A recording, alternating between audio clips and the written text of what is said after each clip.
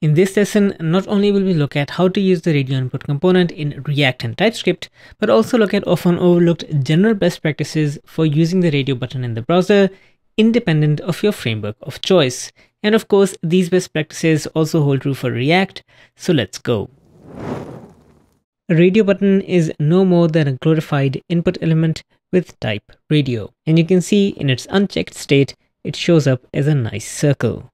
Of course, we can use the checked attribute to force it into its checked state, which is a fill circle, or force it into its unchecked state, which is of course that blank circle that we saw before. And if we get rid of the checked attribute, the component is not controlled by React and instead it is controlled by user interactions and the user can click it to move it from unchecked to the checked state.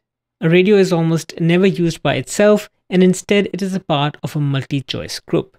So let's take a look at how we can establish this grouping of multiple radio inputs. If we just drop in multiple input elements of type radio, they're not going to be grouped by the browser by default, which means that they are completely independent. You can actually select all of them if you wanted to do so. The way a grouping is established between multiple radio inputs is by using the name attribute.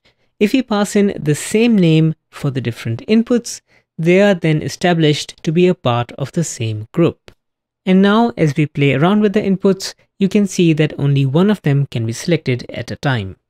Of course, radio inputs without text are pretty useless, so let's look at some labeling best practices for radio inputs. Before we provide a label, we need to provide a background value for what that label is going to represent.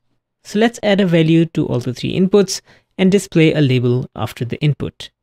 It is common to create the label as verbose as it is needed to be for the user to understand it, but for the value to be more back-end focused and short. Now I've seen people write code like this and it does look like we have radio buttons with labels next to them, but these are not real labels. In fact, if we click on the text, it does not trigger a selection of the associated radio input. And of course, the reason is that we haven't declared any such association. And the way you do that is by assigning an ID to the input element and then wrapping whatever text that you want to display for that radio within an HTML label element.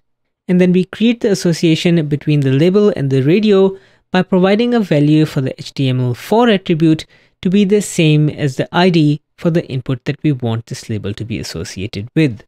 So let's repeat this process for the other inputs as well, providing an ID of female and a label htmlFor female, and then repeat the same process for the other radio input. Now with these associations between the inputs and the label elements created, clicking on the label will automatically select the associated radio input as well.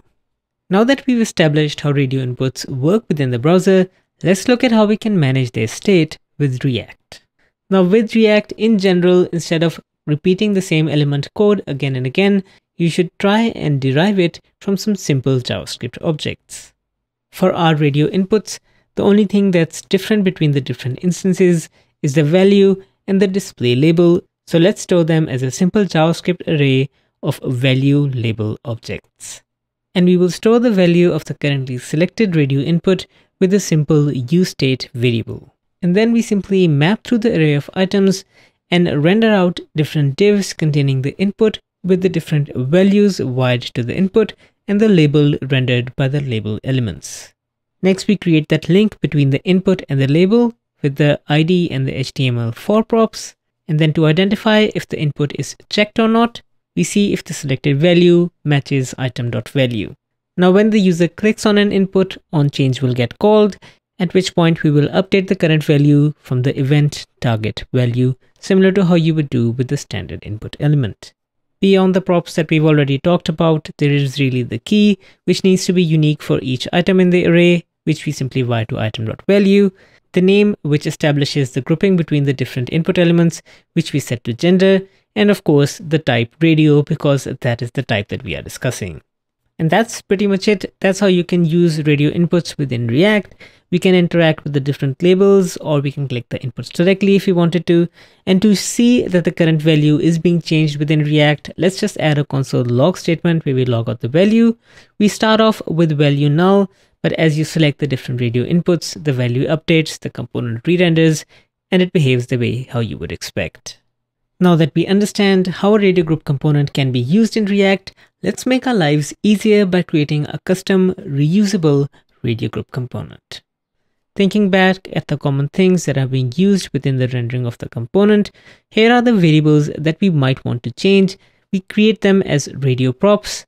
It is the name of the group, it is the items with value and label, it is the currently selected value, and there is of course onChange, which we will invoke if the user interacts with a particular radio. We create a custom component called radio group and destructure the props from the parameter and then render out the same thing that we saw before.